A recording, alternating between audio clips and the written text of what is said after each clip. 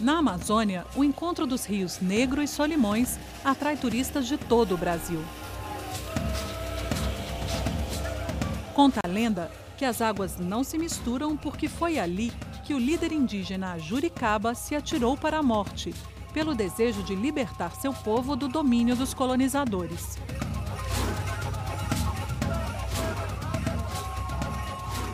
A exploração econômica da Amazônia começou em 1541, quando o capitão espanhol Francisco de Orellana desceu o rio em toda a sua extensão. Ele foi o primeiro a desvendar as riquezas do lugar e enviou relatos de seu achado à Europa. Assim, a cobiça se espalhou.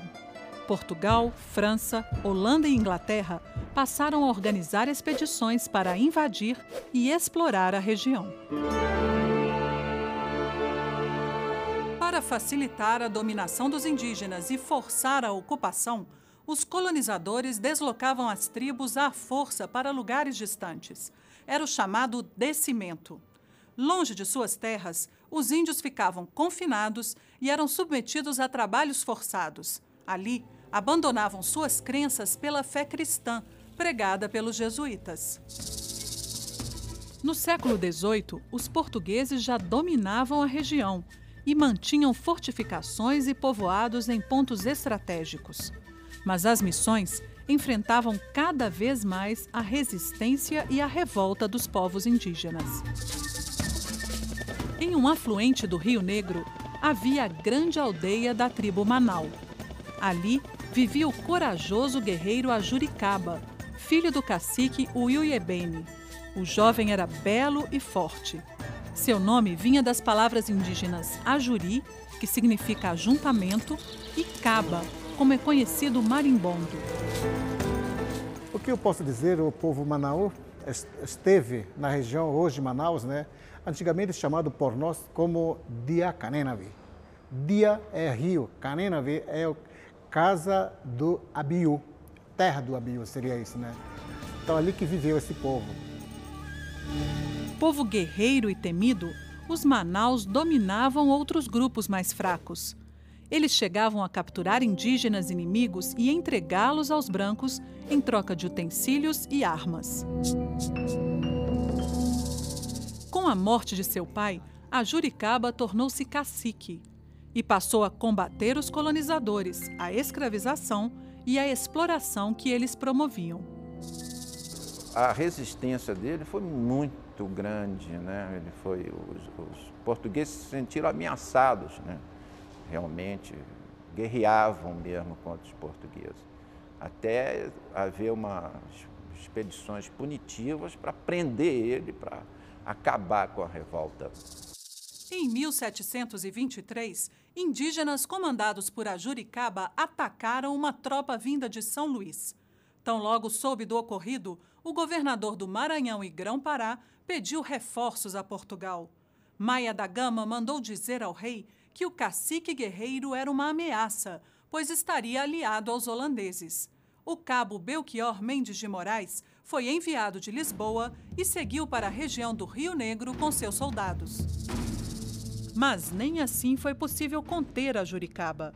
O cabo Belchior pediu ajuda ao governador que enviou João Paz do Amaral e mais uma tropa ao encalço do guerreiro. Líder de grande carisma, a Juricaba conseguiu unir várias tribos na Confederação do Rio Negro para impedir a dominação portuguesa na região. Estrategista, o cacique criou uma vigilância permanente para dificultar o acesso inimigo desde o Baixo Rio Negro até o Rio Branco toda a região ficou sob o comando de Ajuricaba.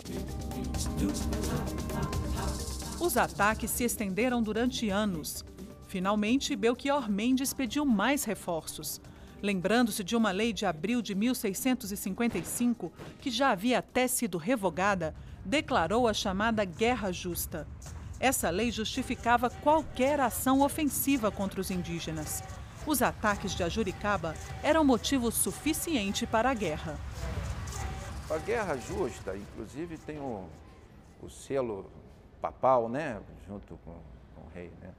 Ele, a guerra justa era, quer dizer, se os índios atacassem os portugueses, era justo que os portugueses atacassem, quer dizer, uma, uma maneira só de, de opinião pública, né? de convencer a opinião pública disso.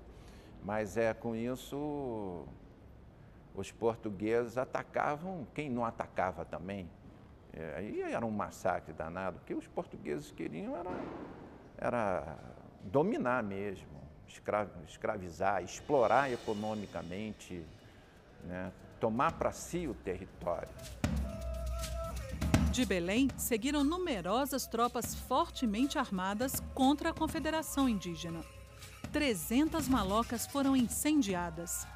15 mil indígenas morreram, entre homens, mulheres e crianças. O jovem Cucunaça, filho de Ajuricaba, que lutava na batalha, foi uma das vítimas. Enlouquecido pela dor, o bravo cacique se lançou furiosamente sobre os inimigos. Assim, a Juricaba foi dominado. Com ele, outros 300 indígenas foram aprisionados. No caminho de barco pelo Rio Negro até Belém, a Juricaba reagiu, mesmo acorrentado. O cacique chegou a ferir os soldados da tropa que o conduzia. Dominado depois de muita luta, o guerreiro atirou-se nas águas do Rio Negro, desaparecendo para sempre. Era o ano de 1728.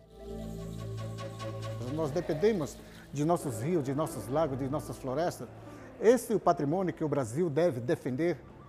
É o que de temos melhor é o verde, é a natureza, né? Então a Juricaba fez isso. Então eu sou um dos Juricabas, outros índios são Juricabas também. Você também deve ser uma Juricaba, né? O povo brasileiro tem que defender o que é nosso. A Juricaba nasceu livre e jamais poderia se sujeitar à tirania daqueles que escravizavam seus irmãos. Ele é um símbolo de liberdade. Lutou até o fim contra a submissão do povo indígena. Pela coragem de defender sua terra e sua gente em troca da própria vida, a Juricaba é um dos construtores do Brasil.